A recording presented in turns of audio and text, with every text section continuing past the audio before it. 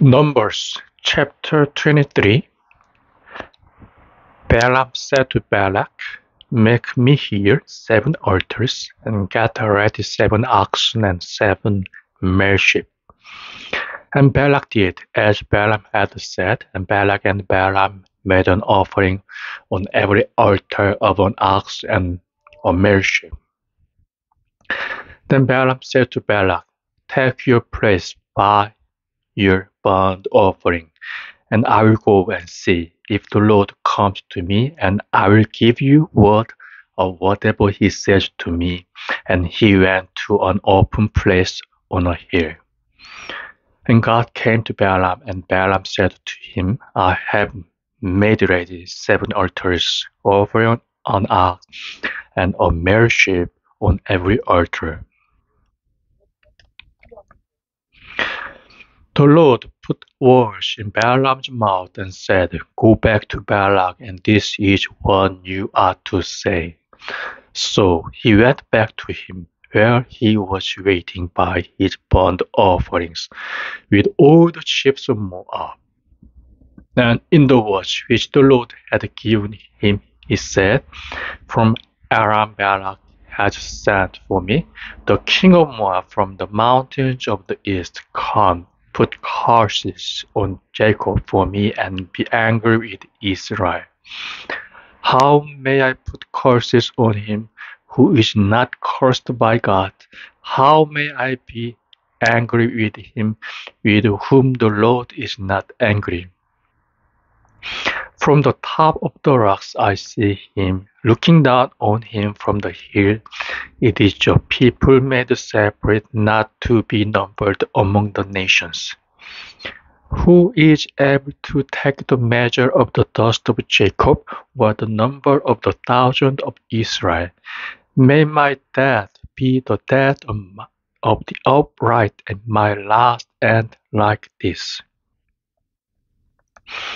Then Balak said to Balaam, What have you done to me? I sent for you so that my haters might be cursed and see. You have given them a blessing. And in an answer, in answer he said, Am I not ordered to say only what the Lord puts into my mouth?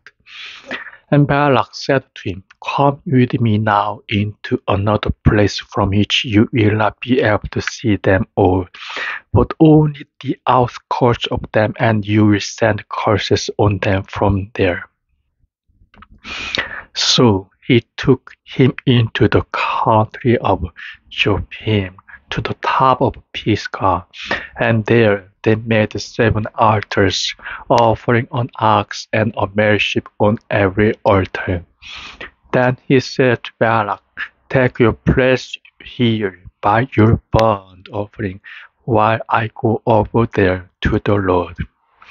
And the Lord came to Balaam and put words in his mouth and said, Go back to Balak, and this is what you are right you are to say. So he came to him where he was waiting by his burnt offering with the chiefs of Moab by his side.